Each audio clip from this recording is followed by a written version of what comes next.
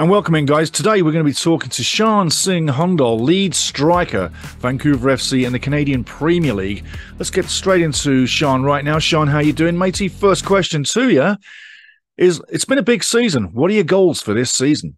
Personal goals: I want to win the Golden Boot. Um, I think I'm set up uh, right now to to uh, possibly win it. I know Myer Bevan has seven at Calgary, but it's close. So I mean, that's my personal goal. As a professional footballer, everybody likes to hit the back of the net, but more so the strikers on the team. What does it feel like when you hit the back of the net as a professional footballer, Shaan? I mean, it feels better when we're winning games and we're I score to get the lead and stuff, but nonetheless, it feels feels good to score. I've watched you for quite some time now, Shaan, not just in the CPL, but also in the time with TFC2 and Inter Miami. What's your goal on the career?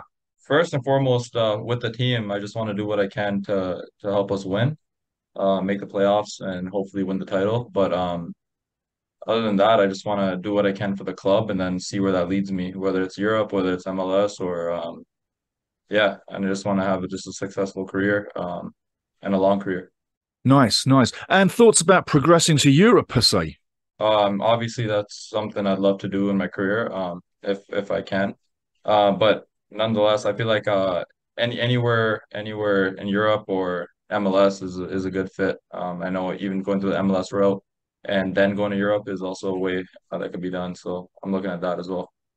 Now, talking about Inter Miami and the whole experience for you, what was that like, and how do you feel that that has propelled you to this point? Amazing. Um, the coaching staff, uh, Phil Neville, Darren Powell, uh, Martin Paterson was really hands on with me. He played uh, striker in the Prem uh, Championship. He was in USL Championship as well. Um, and he was really hands on with me, uh, kind of just focusing on the strikers. And mm-hmm. every day we would just do finishing, and he, and just because of how much uh, effort he put into the drills and and thinking of what we needed and what I needed personally, I think that helped me. Uh, obviously, training with like Gonzalo Higuain and those guys, seeing what they do in front of the net and, and their consistency um, helped me a lot. So talking about Higuain, what kind of things did you learn in everyday training from the Meister? What what I noticed when I got there was that he was just very calm um, off the field, on the field. Obviously, it was his last two years um, in his career in Miami. Um, mm-hmm. You can see just the calmness he brought to the team in front of the goal. Um, that's why I feel like I bring that to my game as well now, uh, learning from him.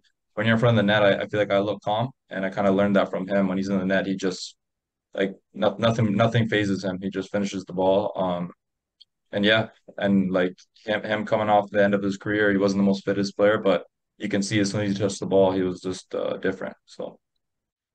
Shaan, you got a great first touch, and I've noticed that for quite some time. And it seems like you're detached in the game too. Is that deliberate to find yourself time and space within the game? Um, obviously, being a striker, you're gonna you're gonna miss uh, miss some chances. Um, I feel like in the CPL, what I learned in Miami from my coaching coaching staff that that's been all over the world. Um, they told me that like even even though you're playing the CPL, it's not the, the highest level league and you miss a chance. The six players in the MLS, player in the, players in the Premier League, they do the same thing. Yeah. So you got to always remember that, you know, like you miss a chance, but next on the same day in a different league, someone's missing the same chance, if not worse. So you just got to have a short memory and just be ready for the next one. So, so talking Vancouver FC, who in the locker room is the Joker, or who keeps everybody moving along, and Joker in a good way? A few. Um, I think I think I'm one of them. Uh, I think Ibrahim Bakare he he is one at times. Uh, and then Callum Irving keeps everyone uh, like in check. Um, he, he brings the jokes. He he knows when to be serious, and uh, he's just a great leader for the team. So. So tell me, in the CPL, what's it like for a striker trying to find space, trying to find time in the final third? It depends on the opposition. Um, I think the easiest thing is running in behind the defenders in this league. Um, I feel like a lot of the defenders are big, strong, and they're they're very good when you you stay close to them. But when you play off the shoulders, I feel like you can have the most success. Now, a big man and a big part of Vancouver FC, Afshin Ghotbi, the coach. What's he been like, and how has he helped you this season? It's been huge. Um, I know, I know, like when you're when you're scoring goals all over the like, no matter where you are, whatever team you're in, yeah. uh, the striker gets comfortable. Like you, you can be scoring, and you, then in training you can be just going through the motions and weekends come, come and you score a goal and you just keep doing it that way. Uh, he's he's been uh, pushing me even though I score on the weekend. He doesn't let me come in on the next day and just you know just be lazy or go through the motions. He makes me he makes me be sharp every training session. He holds me uh, accountable uh, for everything I do, every chance I get, any pass I make, even if I score and it's not going in the way I want it to go in, he keeps me accountable. So I think that that, that helps me a lot. so if it's not a clean touch, he's on you, right? Because he knows that you know, and the CPL it might go in, but he he knows that, uh, and he believes that I can play at a higher level, and he knows that those those uh, bobbly finishes might not always go in A couple of weeks ago, I met you up at Cavalry FC for the Cavalry FC Vancouver FC game. I walked up to you and I said, You're going to score today. And you did within four minutes. Do you remember that? Oh, feels good. I mean, earlier you're scoring a game as a striker, you're you're kind of just you kind of get a weight lifted off your shoulder because then you're you're you feel like you could just uh you know just get you're in the game already. You know, you don't have yeah. to worry about oh my god, I gotta get my first goal, I gotta get my goal in the game, I gotta help my team. But when you get your first goal, you're already in the game. You're confident in everything else you do even if it's not in front of the net, if even if it's holding the ball up, uh, combining with the team, you know. So yeah, I, I feel, it feels good getting the goal early. Helps the rest of the game. Who is your biggest influence or biggest support in becoming a pro soccer player? Um, I think that would I would have to give it to a lot of the Toronto FC uh, coaching staff, Danny Dichio, um, Jason Bent. Uh, they they really just helped me. I mean, I signed my first contract when I was 16. Yeah. So Danny Dichio, he was a striker. He I was playing in the academy under him since I was like 13, 14 years old. And then Jason Bent, um, he gave me my, my first start when I was like 15 or 16, I think. And there was a period where I didn't score a goal in the first like seven games, I think, in the USL Championship. And he just gave me, he just kept starting me until I got right. it. So, so I know yeah. my first year, I think I had like 24 starts or 23 starts as a 16 year old. So I owe, owe a lot to, to Toronto FC and the, the club.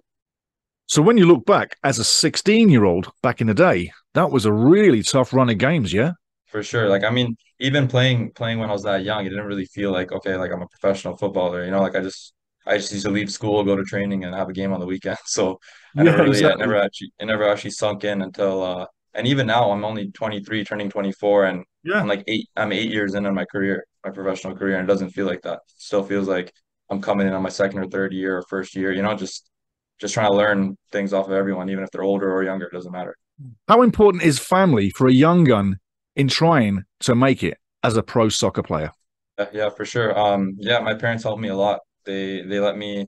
I remember when I was uh 15 or 16, when I got offered my first contract, I was either going to go to college or in in the states, or I was going to sign. And my parents they said, you know what, you can go to college at any time. Just just sign right now and see where that takes you. So What's the best advice you could give to a youngster coming through who wants to make it as a pro soccer player? It's just being focused on what you want to do. Um, when I was younger, we didn't. There was no CPL until I mean, I mean, I'm still young, but when when I was 19, yeah. 18 or 19, that's when CPL yeah. was made. Um, I signed my first contract at 16, and when I was 13 or 14, I never fully understood how close I actually was to signing. Like even when I got offered my first contract, I, it was a surprise. I, I never really thought about contract. I'm, I thought about okay, going to D1 colleges and mm-hmm. and all that. So I feel like when when players are around 16, 17, 18, they're already so close playing League One or wherever it is, and they don't under, really understand how close that really is to the next step.